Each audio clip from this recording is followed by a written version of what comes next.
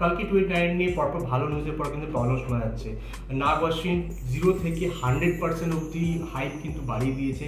পরপর তাদের tray teaser trailer যে আজা বের করেছে ওরা এবং ওদের যে পোস্টার বের করছে এবং ওদের কিছু আগে সিরিজ বের করল একটা ছোট করে সব কিছু নিয়ে কিন্তু প্রচণ্ড হাইপ চলছে।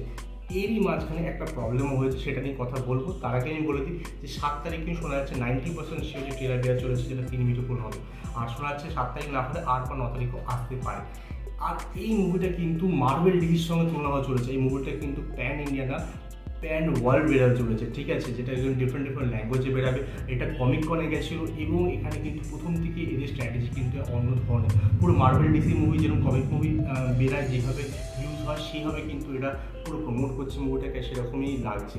এখানে যেটুকু আমরা আপাতত ভিজুয়াল এফেক্ট দেখেছি সব কিছু কিন্তু ভালো লেগেছে এবং সবাই কিন্তু খুব প্রশংসা করছে।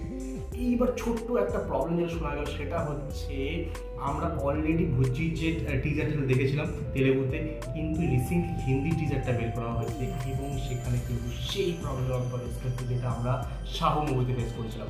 বাহুবলী মুভিতে কিন্তু হিন্দি ভার্সনটা কিন্তু আমাদের প্রভাস ডাবিং করেনি, ওখানে শরৎ কেলকার ওখানে একটা ডাবিং করেছিল, প্রভাসের একটা আমাদের কিন্তু সেই ডায়লগগুলো খুব দম লেগেছিল এই ভালো লেগেছিল। আর এটা মানতে হয় যে আঠারোশো কোটির মধ্যে কিন্তু পাঁচশো কোটি আমাদের নর্থ ইন্ডিয়া থেকে এসেছিল নর্থ ইন্ডিয়াকে ভুলে গেলে কিন্তু চলবে না। ঠিক আছে? এবার আমাদের কথা বলি শাহ মুভিটার কথা। সেখানে কিন্তু প্রভাস নিজে মানে হিন্দি ডাবিংটা করেছিল এবং সেখানে কিন্তু আমাদের একদমই ভালো লাগেনি। ওর ডায়লগগুলো করে ফ্ল্যাট মনে হচ্ছে। এইখানেও যখন আমরা তেলেগু আমরা যখন ট্রেলারটা দেখলাম, তখন কিন্তু বেশ ভালো লাগছে প্রবাস অ্যাক্টিং ভালো লাগছে ইমোশনাল যে ব্যাপারগুলো আছে সব কিছু বেশ ভালো লাগছে।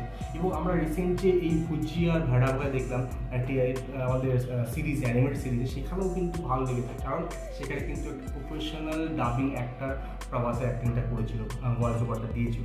কিন্তু এই যে টিজারটা সেখানে প্রভাসের গলায় আমরা শুনতে পেলাম, এবং সেখানে কিন্তু ওর অ্যাক্টিং সেই ফ্ল্যাট মনে হলো।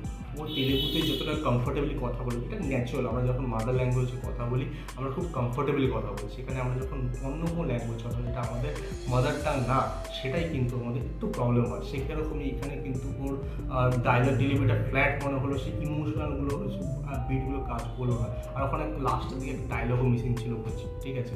তো অল অল ওভার ওখানে কিন্তু আবার সে প্রবলেম শোনা যাচ্ছে এই ব্যাপারটা নিয়ে।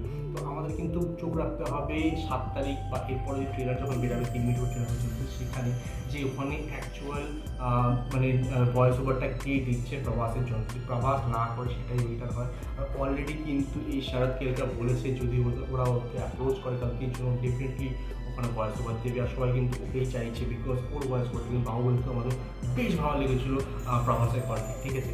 তো তোমাদের বিষয়ে কী মতামত? তোমরা কী মনে করছ যে প্রভাস থাকলেই ভালো হয়, প্রভাসের ভয়েস দিয়ে চলে যাবে কাজ, নাকি অন্য একটা প্রফেশনাল ভয়েস ওভার একটা নেওয়া উচিত যাতে আমাদের নর্থ ইন্ডিয়ান লোকদের ভালো লাগে গল্পটা শুনতে? বিকজ তুমি ধরে নাও, যখন জাপানিজ বা চাইনিজ ভাষায় যদি ট্রান্সলেট হয়, সেখানে নিশ্চয়ই প্রভাস কথা বলবে না, প্রভাস ভয়েস ওভার দেবে না ঠিক আছে? নিশ্চয়ই ওখানে ভয়েস ওভার একটা নেওয়া হবে, একটা প্রফেশনাল একটা নেওয়া হবে। তো সেরকমই এটা এটাকেও সেভাবে ঠিক করলে আই থিঙ্ক আমাদের ইমোশনাল বেটার লাগবে মুভিটা বেটার দেখতে লাগবে, ঠিক আছে? তো তোমাদের বিষয়ে কি মতামত? কমেন্টে নিশ্চয়ই জানিও, আমার সঙ্গে দেখা হবে।